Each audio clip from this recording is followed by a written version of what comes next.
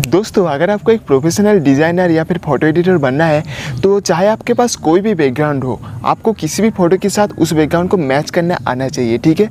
दोस्तों, काफ़ी सारे भाई लोगों ने मुझे इंस्टाग्राम पे मैसेज किया है कि मैं जो अब मेरे फ़ोटो को एडिटिंग करता हूँ, मैं इतनी सिंपल लेवल से कैसे मैं बैकग्राउंड के साथ अच्छे से मैच कर लेता हूँ, जो कि बहुत सारे भाई लोग इसको मैच नहीं कर पाते हैं। दोस्तों, यहाँ पे काफ़ी सारे भाई लोगों ने बोला है कि मैं जो अपने खुद का तरीका है उसको मैं जो भी प्रोसेस में यहाँ पे आजमाता हूँ वो आप सभी भाई लोगों को शेयर करने के लिए।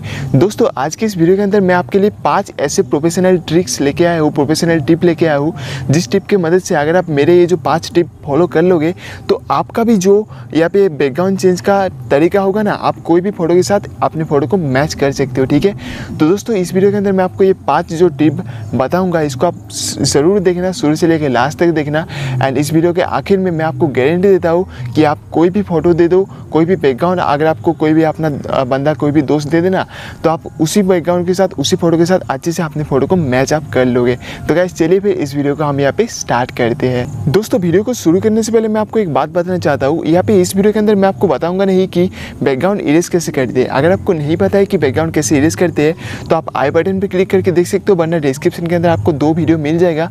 वहाँ पे बैकग्राउंड कैसे इरेज करते हैं, उसके बारे में मैंने फुल ट्यूटोरियल बना के रखा हो, ठीक है? उस वीडियो में आपको पता चलेगा कि बैकग्राउंड कैसे इरेज करते हैं। इस वीडियो के अंदर मैं आपको बताऊँगा कि आप कोई भी कटआउट को मतलब पीएनजी को कैसे मैच कर सकते हो, ठीक है?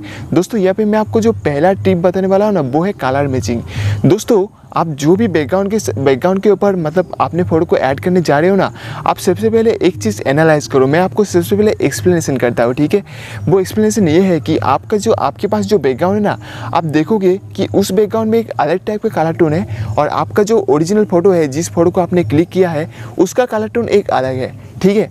तो आप जब भी मतलब अपनी फ़ोटो को उस बैकग्राउंड के साथ मैच करने जा रहे हो तो सबसे पहले आपको एनालाइज करना होगा कि उस बैकग्राउंड में कौन सा काला टोन है और आपके फ़ोटो में कौन सा काला टोन है। क्योंकि आप अपने फ़ोटो को उस बैकग्राउंड के साथ मैच करने वाले हो तो आपको सिंपली क्या करना होगा, अपने फ़ोटो को फ़ोटो का जो बैकग्राउंड है, उसको बैकग्राउंड को रिमूव करने से पहले आपको यहाँ पर ट्राई करना होगा कि आप जितना हो सके उतना एक्यूरेट एक्यूरेट नहीं हो सकता है, लेकिन जितना हो सके उतना सिमिलर अगर आप काला टोन को मैचअप कर सकते हो तो सबसे ज़्यादा बेस्ट है। मान लो कि आपका जो बैकग्राउंड है, उसमें वार्म टोन बहुत ज़्यादा है, और आपने जो फ़ोटो क्लिक किया है, उसमें मतलब ब्लू टोन बहुत ज़्यादा है। मतलब आपने थोड़ा सा डे लाइट में नहीं अपने क्लाउड में अपने फ़ोटो को क्लिक किया है क्लाउड मोड में, कुछ एक ऐसे ऐसे मोड होता है, और आपका जो बैकग्राउंड है, वो डे लाइट में खींचा गया है, ठीक है? तो उसको मैच करने के लिए आप यहाँ पे टेम्परेचर टूल में जाके अपने फ़ोटो का जो टोन है, उसको आप थोड़ा सा वार्म टोन कर सकते हो। इससे जब आप बैकग्राउंड को मैच करने जाओगे तो बहुत ही ईजी पड़ जाएगा, ठीक है? तो ये जो पहला टिप है, बहुत ही इंपॉर्टेंट टिप टिप है स्टेप है और टिप भी है, इसको आप ज़रूर ध्यान में रखना, ठीक है? दोस्तों, अब मैं आपको बताता हूँ कि दूसरा टिप क्या है। दूसरा टिप है बेसिक एडजस्टमेंट बेसिक एडजस्टमेंट क्या होता है? दोस्तों, इस बार मैं आपको बताता हूँ कि यह बैकग्राउंड इरेज करने के बाद, ठीक है? पहला जो मैंने आपको टिप बताया, वो बैकग्राउंड इरेज करने से पहले, ये जो टिप है बैकग्राउंड इरेज करने के बाद, ठीक है? बाकी जो टिप भी है, वो बैकग्राउंड इरेज करने के बाद ही होगा।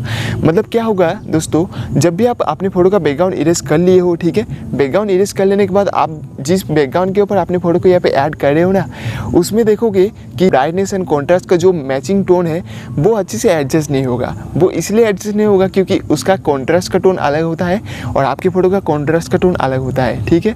दोस्तों, यहाँ पर सिंपली आप क्या कर सकते हो, आप एडजस्टमेंट टूल पर जा सकते हो। एडजस्टमेंट टूल पर जाने के बाद आप कॉन्ट्रास्ट टूल को अप एंड डाउन कर सकते हो। कॉन्ट्रास्ट टूल के अलावा हाईलाइट टूल मिलता है एंड शेडोज टूल मिलता है। ये जो तीन टूल है ना, ये सबसे ज़्यादा इंपॉर्टेंट टूल है। इन इन तीन टूल को आप ज़रूर यूज़ करना। चाहे आप पिक्सा टाइप यूज़ करो लाइट यूज़ करो, या फिर स्नैपसीड यूज़ करो, आपको बेसिक एडजस्टमेंट टूल हर जगह पे मिल जाता है, ठीक है? आप इन टूलों को यूज़ करके देखना कि आपका जो बैकग्राउंड के साथ मैच करने का तरीका होगा, वो बहुत ही ज़्यादा इंप्रूव हो जाएगा, ठीक है? दोस्तों, अब मैं आपको बताता हूँ जो तीसरा ट्रिक है, तीसरा प्रो टिप है, वो है डॉजिंग एंड बाइंडिंग दोस्तों, इसके ऊपर मैं पिछले पिछले कुछ दिन पहले एक मैंने वीडियो बनाया था डॉजिंग एंड बाइंडिंग कैसे यूज़ करते हैं। आपने अगर वो वीडियो नहीं देखा है तो आप वो वीडियो ज़रूर देखो, आपको बहुत ज़्यादा अच्छा लगेगा। लेकिन मैं आपको इन शॉर्ट में बता देता हूँ कि डॉजिंग एंड बर्निंग क्या होता है। डॉजिंग बर्निंग ऐसा होता है दोस्तों, मान लो कि आपके बैकग्राउंड में एक डायरेक्शन से लाइट आ रहा है, दूसरे डायरेक्शन से अंधेरा है, ठीक है? तो आप अपने फ़ोटो को उस बैकग्राउंड के ऊपर ऐड कर रहे हो। लेकिन क्या हो रहा है, आपका जो मॉडल का फ़ोटो है, उसमें जो लाइट है, वो फ्लैट लाइट है। मतलब आपको भी क्या करना होगा, आपको मैच करने के लिए आपका बैकग्राउंड में जिस डायरेक्शन से लाइट आ रहा है ना, आपको भी अपने मॉडल के ऊपर उसी डायरेक्शन से लाइट को क्रिएट करना होगा। और जिस डायरेक्शन से डार्क इफ़ेक्ट आ रहा है मतलब दूसरा कोई लाइट आ रहा है, उस डायरेक्शन से आपको, वो दूसरा जो लाइट इफ़ेक्ट है, उसको आपको लेके आना होगा, ठीक है? इससे आपका जो मैच मैचिंग का तरीका होगा, वो अच्छे से मैच कर पाओगे। तो इसके ऊपर मैंने डेडिकेटेड वीडियो बना के रखा है। आप उस वीडियो को ज़रूर देखो। आपको डॉजिंग एंड बाइंडिंग कैसे यूज़ किया जाता है, साथ में आप उसको कलर करेक्शन को भी कैसे यूज़ किया जाता है, उसको आपको पता चल जाएगा, ठीक है? दोस्तों, तीसरा जो तरीका है, वो है डिटेल्स ऐड करना, ठीक है? डिटेल्स ऐड करना मतलब दोस्तों, मानो कि आपने जो आपने बैकग्राउंड में यहाँ पे आप, आपका जो बैकग्राउंड है उसमें बहुत ज़्यादा डिटेल्स है। या फिर आपके बैकग्राउंड में ब्लर बैकग्राउंड है मतलब वहाँ पे उतना ज़्यादा डिटेल्स नहीं है। अगर आपके पास चाहे आपके पास ब्लर बैकग्राउंड हो या फिर आपके पास एक डिटेल बैकग्राउंड क्यों ना हो लेकिन आप अपना जो खुद का फ़ोटो यूज़ कर रहे हो ना उस फ़ोटो में अगर चमक नहीं होगा डिटेल्स नहीं होगा तो आपका फ़ोटो बिल्कुल बेकार है। मतलब अगर आप एक डी एस एल का फ़ोटो देख लो वहाँ पे मेन फोकस रहता है मॉडल मॉडल में डिटेल्स रहता है। उसी तरीके से आप अगर कोई भी फ़ोटो का बैकग्राउंड चेंज कर रहे हो, वहाँ पे आप डिटेल्स नहीं डालोगे, क्योंकि आप बैकग्राउंड जब चेंज करोगे, उतना ज़्यादा डिटेल्स वहाँ पे नहीं नहीं होता है, ठीक है? तो आपको थोड़ा सा डिटेल्स ऐड करना पड़ता है, ठीक है? डिटेल्स ऐड करने के लिए सबसे बेस्ट ऐप है स्नैपसीड ऐप क्योंकि वहाँ पर डिटेल्स एंड शार्पनिंग एक साथ आपको मिल जाता है, ठीक है? आप वहाँ पर डिटेल्स ऐड कर लेना, ठीक है? डिटेल्स ऐड करने के बाद आप देखोगे कि आपका फ़ोटो बहुत ज़्यादा मस्त लगेगा, और सिमिलरली आपकी जो भी फ़ोटो के अंदर मतलब बैकग्राउंड में ही बहुत ज़्यादा डिटेल्स है, वहाँ पे आप वहाँ पे आप अपने फ़ोटो वहाँ पे भी आप अपनी खुद की फ़ोटो के ऊपर डिटेल्स डालो, देखो वहाँ पे भी बहुत ही अच्छा रहेगा ठीक है? दोस्तों, अब मैं आपको लास्ट जो टिप है, वो लास्ट टिप में बताना चाहता हूँ, वो है कलर गेटिंग इफ़ेक्ट और ये टिप काम करेगा लाइट ऐप के अंदर, ठीक है? जो मैंने आपको पहला टिप बताया है, वो है एक्चुअली पिक्सार या फिर स्नैपसीड आप इन दोनों ऐप में ही भी कर सकते हो, बाकी का जो टिक है, वो भी आप पिक्सार स्नैपसीड भी कर सकते हो, लेकिन ये जो लास्ट मैंने आपको टिप बताया, ये सिर्फ़ लाइट ऐप के अंदर बहुत ही अच्छे से काम होता है, ठीक है? तो यहाँ पे क्या होता है, दोस्तों देखो, आपने सबसे पहले क्या किया, पहले कलर को मैच किया, दूसरे में आपने एडजस्ट किया, तीसरे स्टेप में आपने डॉजिंग एंड बाइंडिंग भी किया, चौथे स्टेप में आपने डिटेल्स भी दिया और फिफ्थ स्टेप में अगर आप यहाँ पे कलर गेटिंग इफ़ेक्ट नहीं दोगे ना तो यार मतलब उतना ज़्यादा आपका जो बैकग्राउंड है वो उतना ज़्यादा खास नहीं लगेगा रियलिस्टिक नहीं लगेगा। और सबसे ज़्यादा मेन इंपॉर्टेंट चीज़ है, अगर आप फ़ोटो मेनुपेशन कर रहे हो तो वहाँ पे कलर गेटिंग इफ़ेक्ट जो है ना, वो सबसे ज़्यादा इंपॉर्टेंट चीज़ है, ठीक है?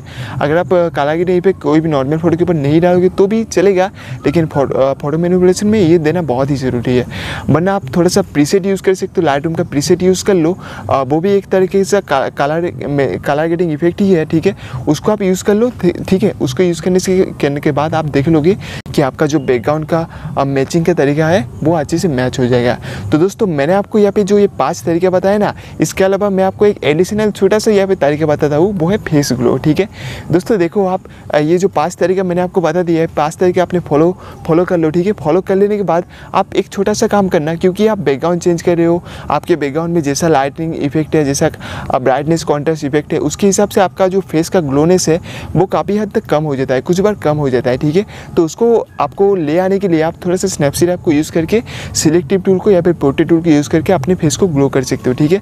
क्योंकि अगर आपके फेस में ग्लो नहीं रहेगा तो आपका फ़ोटो बिल्कुल भी अच्छा नहीं रहेगा, ठीक है? तो आप थोड़ा सा फेस को ग्लो कर लेना, ठीक है? बहुत ही ज़्यादा मस्त लगेगा। तो दोस्तों, यहाँ पे मैंने आपको ये जो पाँच तरीका एंड एक एडिशनल जो मैंने आपको टिप बताया, ये जो टिप मैंने आपको बताया ना, ये जर ये सारी टिप आप ज़रूर फॉलो करो एंड ठीक है? और फॉलो करने के बाद आप मुझे खुद कमेंट करके बताना कि आपको ये सारी टिप कैसा लगा, आपको थोड़ा सा हेल्पफुल लग रहा है या फिर नहीं, ठीक है? मुझे आप कमेंट करके ज़रूर बताना और मैं आपको गारंटी बताता हूँ कि आप थोड़ा सा इसको प्रैक्टिस कर लोगे तो आपको ये सारे टिप बहुत ज़्यादा हेल्पफुल लगेगा, ठीक है? तो दोस्तों, ये वीडियो आपको कैसा लगा, नीचे आप लाइक करके ज़रूर बताना, ठीक है? और इस वीडियो को अपने सभी दोस्तों के साथ शेयर करना।